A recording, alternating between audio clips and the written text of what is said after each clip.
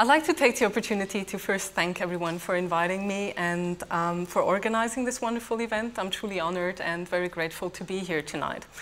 When I received the email invitation a couple of months ago, my first thought was like, oh, they must have sent it to the wrong person because there are so many um, female scientists in Switzerland doing really um, state-of-the-art and really innovative research. So why would they choose me? Because I never really considered my career path to be bumpy or difficult at all. So I was just about to trash the email when I decided to give it another thought. And all of a sudden, I was facing this cascade of impressions and emotions when looking back at my um, professional trajectory, because I realized that actually it hadn't been easy at all. If anything, it was really a struggle. And I also realized that I was kind of triple punished. First, for being a woman, which per se I never considered being a problem, but being a woman doing sex research, um, that was quite a stigma, yeah, because most of the people um, had this stereotype of um, a woman wearing ropes and sandals and being quite alternative. And the triple punishment, um, being a woman who does genetic research of human sexuality uh, which people usually associate with weird stuff like that and really is kind of stigmatized still. That really meant pushing the boundaries of what people were able to handle and even nowadays are able to handle, and especially also within the scientific community. And I also started realizing that people were kind of treating me differently, you know, interested in collaborating for every other reason than really wanting to collaborate, or at least not on a professional level. Um, so consequently, I had um, the feeling like I have to work harder, I have to invest more, I have to be more aggressive and more pushy to really stand my ground and establish sex research or genetic sex research as a legitimate um, research area within science. So I thought, yep, okay, I take the opportunity and I come here and I say something that hopefully will be inspiring to some uh, people here in the audience. Um, Coming up with a list of innovative ideas on how to foster women's participation in STEM really was kind of challenging because I really believe that there are so many women and organizations working on it and doing a fantastic job. And I really didn't want to stand here and just repeat already implemented policies or, uh, you know, postulating kind of washy, worldly wisdoms, although I'm afraid I might do so eventually but instead talk about my own experiences and um, what I thought really helped me and where I would have wished for more help. And because I'm a scientist after all, I sat down and I started drawing um, a lifeline and um, started drawing those different systems that I believe, or factors that I believe influence not only our biography, but also um, our education, our development, and also our job and future aspirations that we have. And this is what came out. Yeah? So it looks something like that.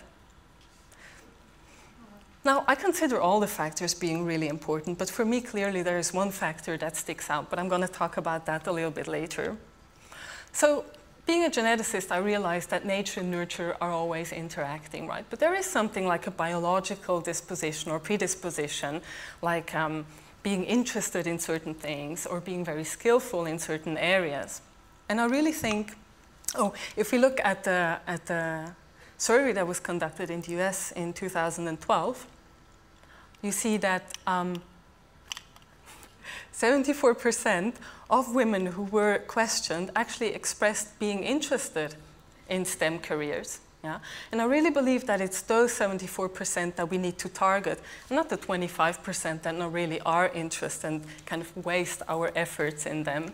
Because what we also see is that almost half of them are kind of hesitant in entering a career in STEM because they fear that they can never compete um, with men in this very male-dominated world. So bottom line, not everyone is a born scientist, and I don't think everyone should be. And uh, I think we should acknowledge this individual variation also in um, career interest, if you want so. But also do believe that we have to kind of support and invest our efforts in those people who are interested, because in the end, um, interest and passion really are the best motivators, and for me, the best predictors for success. Then, of course, we have the environment. So we have parental support. But this is sometimes tricky as well because, um, you know, you cannot expect parents to be like really knowledgeable in science or really um, excited about science. So what they really need to provide is, in my view, um, emotional support, you know, uh, being attentive to the child's wishes and um, dreams and try to provide them with a feeling that barriers can be broken. And then, of course, we have um, the role of teachers and early school education. So we really need um, motivated, enthusiastic, and positive teacher, as well as appropriate um, curricular content, so that science in the end becomes kind of breakable and playable and real, and not just something that is written in a book. But for me, the most important factor is actually mentorship, because having a desire or having a dream is okay. But what you really need is someone who takes care of you and someone who supports you in this path. Now, a lot of people always ask me what made me go into sex research, and the answer is fairly easy because if you have like 10 books in front of you, and you know, one is about eating disorder, the other one is about schizophrenia, and you always grab the one that is related to sex, that tells you something, right? And I was trying to express or um, express this wish or this dream to my um, to my supervisors, my academic supervisors, which all were uh, shaking their heads and were saying, oh no, uh, don't do that, um, follow more orthodox um, career path and uh, try to look at more conventional research areas, because otherwise you will never be able to establish a career.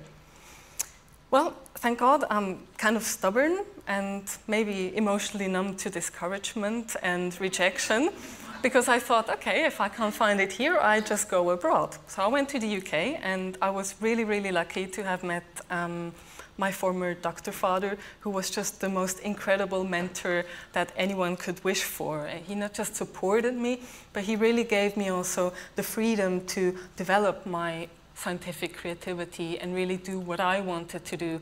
And he also kind of prepared me for the, let's say, more sensitive aspects of being a woman in science. So talking about mentorship, invariably the question uh, arises as to the need for role models, right? So role models that kind of break um, or, or, challenge the prevailing stereotypes and the lingering um, gender stereotypes. But related to that need for role models are a bunch of questions like, is there such a thing as a role model? And if yes, what would be the perfect role model? And does a role model for women need to be female herself? And I'm personally a bit skeptic um, regarding this whole role model thing because um, I sometimes feel that um, we're entering a danger that we are establishing kind of new stereotypes by saying, okay, so a scientist nowadays, a female scientist, is omnipotent, she's hot, she's sexy, she's clever, she's socially competent and tough. And this is something that other women uh, might start idolize and try to follow their footsteps and eventually feel a lot of pressure herself. So for me, uh, a good role model is not someone smiling at you from a magazine or someone visiting school and talking about a career or standing here talking 10 minutes about their own path. For me, the real role models are mentors that really are there to support the person